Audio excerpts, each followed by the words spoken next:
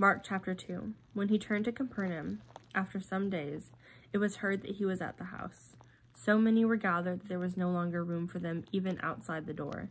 And he kept proclaiming the word to them. Some people came bringing to him a paralyzed man carried by four men.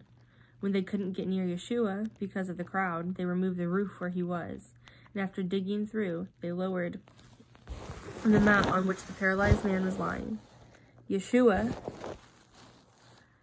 mm-hmm, seeing their faith, said to the paralyzed man, Son, your sins are forgiven. But some of the Torah scholars were sitting there questioning in their hearts, Why does this fellow speak like this? He blasphemes. Who can pardon sins but God alone? Immediately Yeshua, knowing in his spirit that they were raising questions this way within themselves, said to them, Why are you questioning these things in your hearts? Which is easier to say to the paralyzed man, Your sins are forgiven, or to say, Get up and walk take your mat? But so you may know that the Son of Man has authority to pardon sins on earth. He tells the paralyzed man, I the paralyzed man, I tell you, get up, take your mat, and go home. At once the man got up, took his mat, and walked before them all.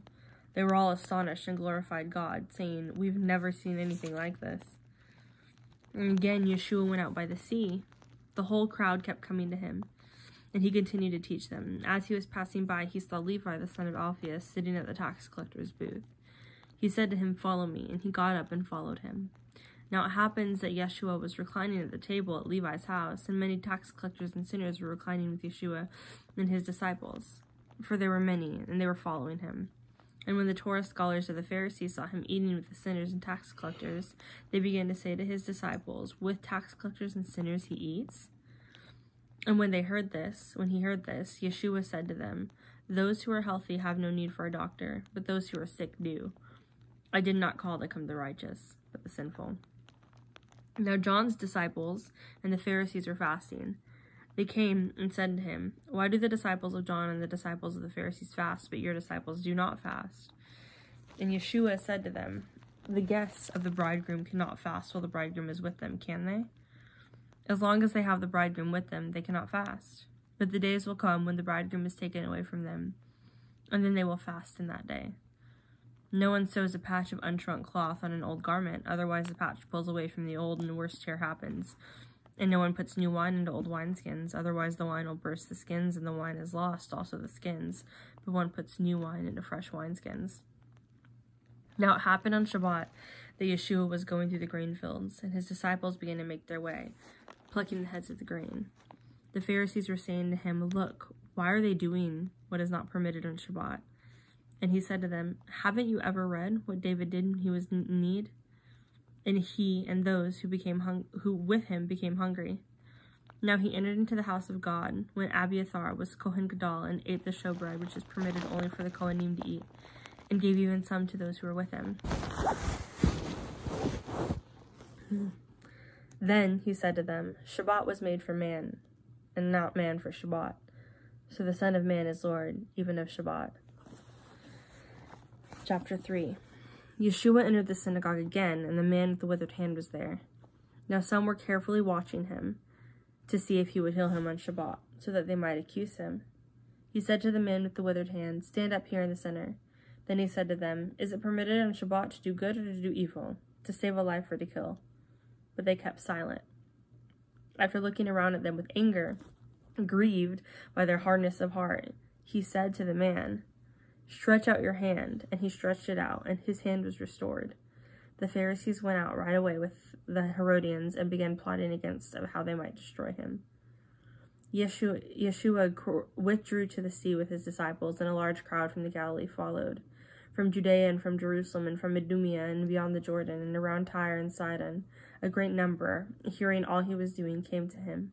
He told his disciples to have a small boat ready for him because of the crowd, so that they wouldn't mob him for he had healed many, so that all those afflicted fell down before him in order to touch him. And the unclean spirits, whenever they saw him, would fall down before him and cry out, You are Ben Elohim. But Yeshua strictly ordered them not to make him known. Now he climbs up to the mountain and calls those he himself wanted. And they came to him. He appointed twelve, whom he also named emissaries, so that they might be with him, and he might send them to proclaim the good news.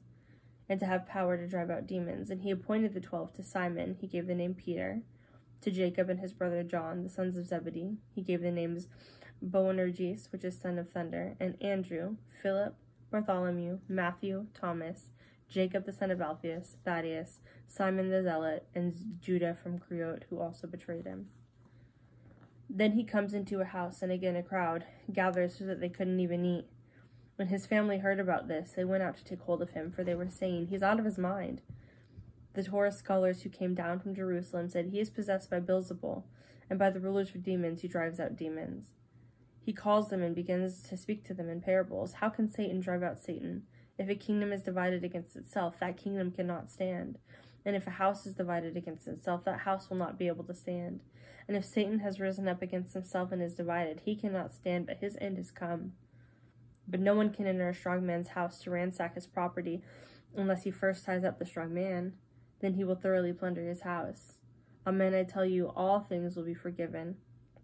The sons of men, the sins and whatever blasphemies they utter. But whoever slanders the Ruach HaKodesh never has release, but is guilty of an eternal sin, for they were saying he has an unclean spirit. Then his mother and brothers came, standing outside, and they sent a word to him, summoning him and a crowd looking around him, and they tell him, Look, your mother and your brothers are outside looking for you. Answering them, he said, Look, who are my mothers and my brothers? Looking at those sitting in a circle around him, he said, Here are my mother and my brothers. For whoever does the will of God, he is my brother and my sister and my mother. Chapter 4 Again, Yeshua began to teach by the sea. A large crowd gathered around him, so he got into a boat on the sea and sat down, and the crowd was by the sea on the land. He began teaching them many things by parables, and in his teaching he said to them, Listen, behold, a sower went out to spread some seed. It happened that he, as he sowed, some fell aside on the road, and the birds came and ate it up. Other seed fell on the rocky ground, where it didn't have as much soil. It sprang up immediately because the soil wasn't deep, but when the sun came up, it was scorched, and because it had no root, it withered away. Other seed fell among the thorns, and the thorns grew and choked on it, and it yielded no crop. And others fell into the good soil and were producing fruit, springing up and increasing. They yielded a crop, producing thirty, sixty, and a hundredfold. And he said, He who hears, let who he who has ears, let them hear. When Yeshua was alone, my goodness, um, those around him with the twelve started asking him about the parables, and he told them, To you has been given the secret of the kingdom of God, but for those who are outside, everything is in parables, so that seeing they may see, not receive, and hearing they may hear, not understand, so they may not turn back and be forgiven. He said to them, Don't you grasp this parable? Then how will you understand all the parables? The sower sows the word. There are the ones beside the road where the word is sown. Wherever they hear, Satan comes quickly and takes away the word that has been sown in them. These are the ones sown on rocky ground. When they hear the word, immediately they receive it with joy, and they have no root in themselves, but last only a short while. When trouble or persecution comes because of the word, immediately they fall away. And others are the ones sown among the thorns. They have heard the word, but the worries of the world and seduction of wealth and desires for other things enter in and choke the word, and it becomes unfruitful. And those are the ones sown in the good soil. They hear the word and accept it and produce fruit 30, 60, and a hundredfold. He also was saying to them, Is a lamp put under a basket or a bed? No. Shouldn't it be placed on a lampstand? For there is nothing hidden that will not be revealed, nor anything kept secret except that it would come to light. If anyone has ears to hear, let them hear. And then he continued, Pay attention to what you hear. With the measure you use it, it will be measured to you, and more will be added to you. For whoever has, to him more will be given, and whoever does not have, even what he has will be taken away from him. And he was saying, The kingdom of God is like when a man spreads seed on the soil and falls asleep at night and gets up by the day, and the seed sprouts and it grows. He himself doesn't know how. Automatically, the earth brings forth a, a crop First the blade, then the head, then the full grain in the head. When the grain is ready, at once he sends in the sickle, for the harvest is come. Yeshua also said, How should we picture the kingdom of God? Or by what story shall we present it? It's like a mustard seed when it's planted in the ground. Though the smallest of all seeds in the earth, yet when planted it grows up and becomes the largest of all the herbs. It puts forth big branches so that the birds of the air can nest in its shade. With many such parables, he used to tell them the word, as much as they were able to hear. But apart from a parable, he wasn't speaking to them. Yet when they were alone to his own disciples, he would explain everything. Now on that same day in the evening, he says to them, Let's cross over to the other side. After leaving the crowd, they take him along in the boat just as he was, and the other boats were with him. A great windstorm arises, and the waves are rushing into the boat. The boat was beginning to fill up, but Yeshua was in the back of the boat sleeping on a pillow. They wake him up and say to him, Teacher, don't you care that we are perishing? So he woke up and rebuked the wind, and he said to the sea, Quiet and be still.